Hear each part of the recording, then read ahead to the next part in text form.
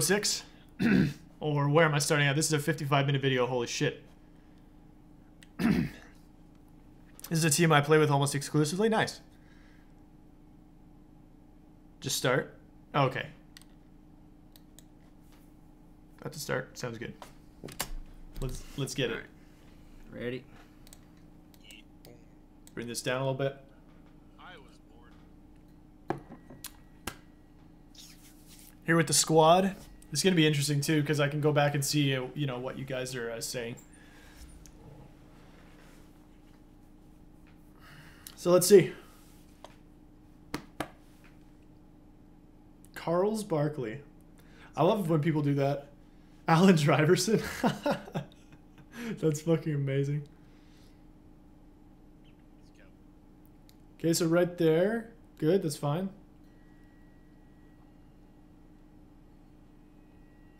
I would say that you don't really need to rotate back in here if you see your teammate.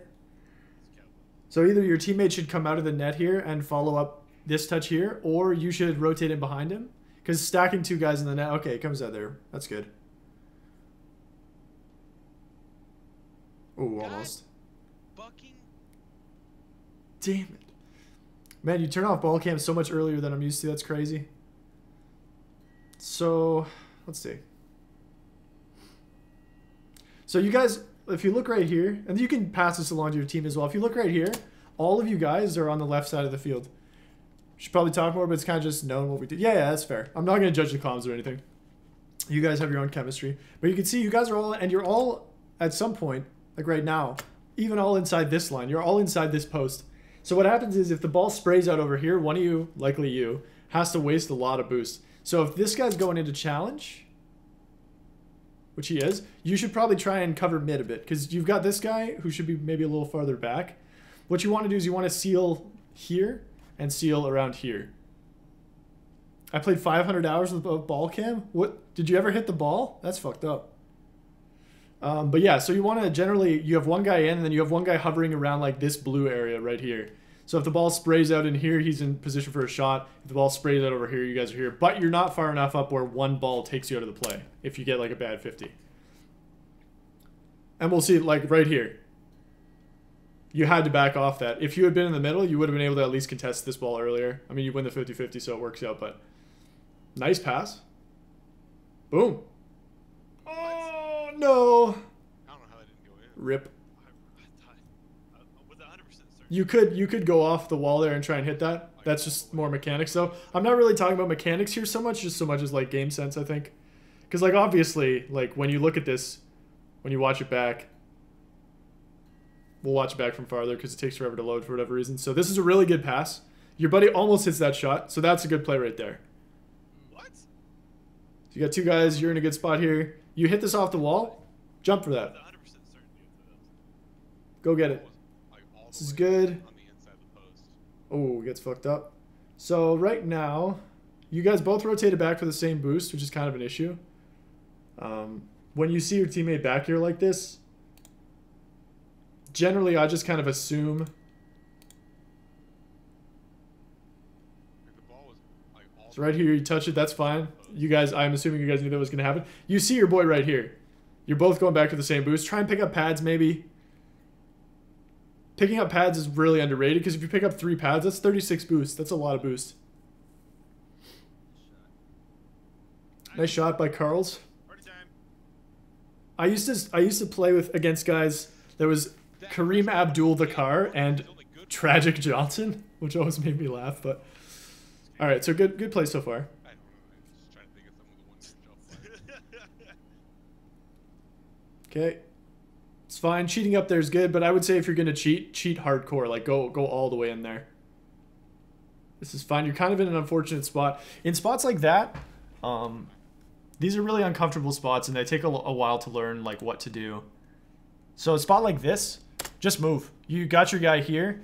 Turn, drive into the net. Be ready for like a, a redirect shot off the wall or something. Because if you're just sitting here, I mean, it's not really doing much. Like where that guy bumped you is almost where you want to be. You want to be like on your goal line there, I think, because your buddy's on the wall, so he has the best chance at it anyway.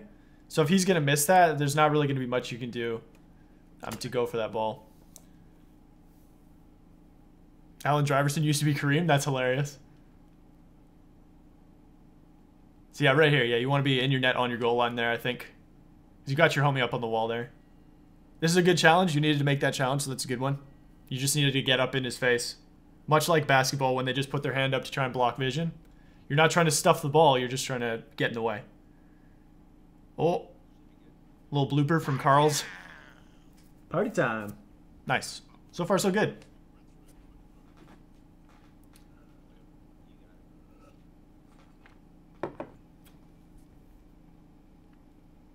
Probably want to be backflipping into that boost. Do I, you know what? That's actually a really good area to practice half flips. Because you have, there's no pressure. It's not really any pressure. So practice doing half flips into the, uh, into the boost. Disclaimer, uh-oh. You're going to tell me these guys are both grand champs. Kareem does a double jump aerial? That's fine. Who's Kareem? Is that, uh, you tried to half flip? Okay, I see. Oh, I see. Gotcha. Okay.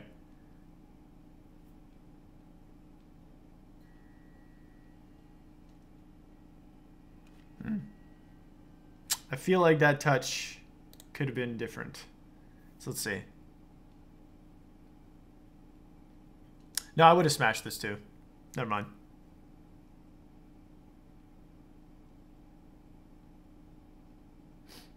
So far, so good. Going all the way back to your net there, it's a bit of a waste, but you got two guys in front of you, so it's not the worst thing in the world. Okay, liking it. Oh, yeah.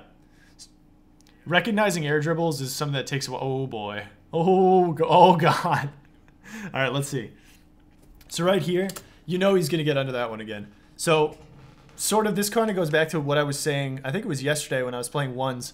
You either want to, when somebody's air dribbling, in my opinion, this is the easiest way to defend it.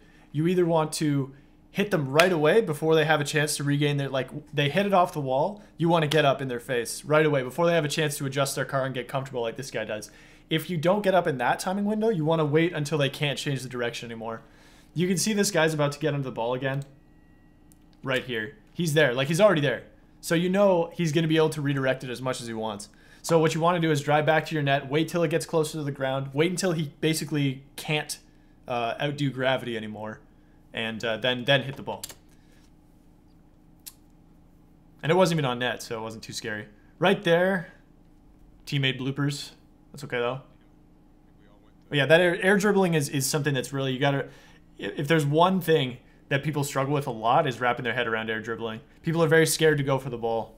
If you go right away, you're good. If you wait until the very end, you'll probably be fine too. If you wait until their last touch. That's okay. Cheat didn't work. Holy shit. This is so disorienting. nice, okay. Grab a pad. Should get back should get up on the wall there and try and clear that. Because your teammate was stuck in the position you were earlier, where you sort of were just backing up and forth. Um, but so right here, this is fine. You know, happens. But right here, you grab a pad, that goes up, rush that shit, get on the wall. Because you can get to that. With 36 boosts, you'd be fine. You can get to that ball, you jump off, you hit it. That's you going to be making that play. D3 has so few good air dribblers that I have a bad habit of making them prove it, and if they do, I get scored on. Yeah, that's the classic, right? Where you're like, this guy's not getting. Oh, you got it. Oops.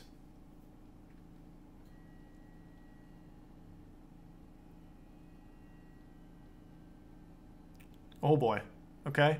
You don't want to back up here, just power slide turnaround. I, I imagine that's kind of a half flip, but either way, until you're super comfortable with half flips, just use the old power slide turn.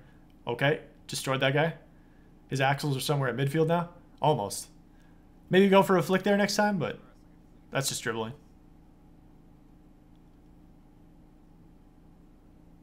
Yep. Oh, whiff. That's okay. Again, I'm not going to be calling you out for whiffs because you know what you did wrong there. That's You don't need my help for that one. Interesting touch from that guy. Oh, get fucked. Oh, yeah. Unfortunate. I was going to say go up for it, but that guy got a touch on it. So, rip. Right there, you don't really need to seal that wall. Just I would I would uh, play a little bit more patient and maybe wait for his touch. So we're going to watch the sequence again. Right here. Driverson comes in and fucking destroys that guy. Right there, yep. Unfortunate. But so, right here, just back up a bit. Wait for his touch. You're not really going to get a good 50 out of that. This is fine. Rotating back for boost. That makes sense. Your homies are there. Good job. Just wait for the touch. Good touchdown. Uh, interesting touch back. Probably should call that out in comms, just as a heads up if you're going to slam it off the wall like that. Yep. Yep, pick up pads, pick up pads, go for boost. That's fine. Makes sense. Yep, good up. Nice and early. Let your teammates know you're going without having to say anything, and it dissuades your opponents from going for it. Good, good tackle attempt. So even though you didn't hit that challenge, it doesn't matter. This is exactly what you should be doing in this situation. I'm going to point this out because a lot of people don't don't uh, do this. So right here, you fucking if you're ever first man up in twos or threes, hit this guy. Challenge the ball because what does it do? Forces him to make a bad hit. He can't recover from this. So if your teammates, if uh, unlucky bump there, but if your teammates hadn't uh, gotten bumped there, they would have had to play on the ball. Nice. Oh, just overdrove that a little bit, but it worked out. It was a fake. Clearly key. But yes, if you're first up, challenge everything, even if you don't have boost. I mean, obviously within reason. Use your discretion there, but for the most part, you want to be making that guy make that move so that your teammate can come in and swoop in on the top. I got it. Nice. Good call. Getting boost. I like it. Good position. Your teammate's middle, so that's good. Yeah, it's kind of hard to say what to do here. Generally, I like to be a little bit more aggressive and get out of the net because by that time, my teammates will have come back. Really nice avoidance of that guy. Good, smart play to chip it up around him. Oh, your your uh, second man got demoed. That one just needed to be. If you had been able to touch that into their zone, it would have been good. Teammate should have looked for a pass there.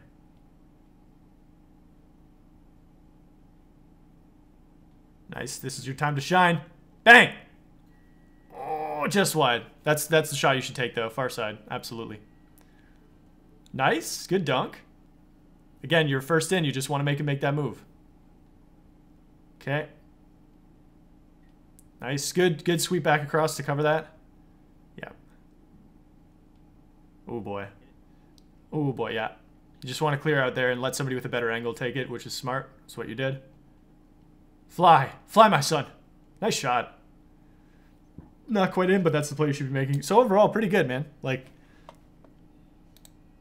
I think the the biggest things are um, just general positioning. Um, trying to make sure that you're always in an, a value added spot. So not hovering your, on your teammates too close. Um, being in your net if you can't make a play on the ball. If you're in the corner and it goes up on the wall, you, you get your ass up there, that kind of thing. Uh, but so it's pretty good to me. And then of course just general mechanics that you know need a little got me all warm inside. Hey, but yeah, just uh, just there's just mechanics, shooting, uh, ball striking, that kind of thing. Experiment with dribbles some more. Do some off the wall shit. Give that a whirl. But it's pretty good, man. Thanks for the video.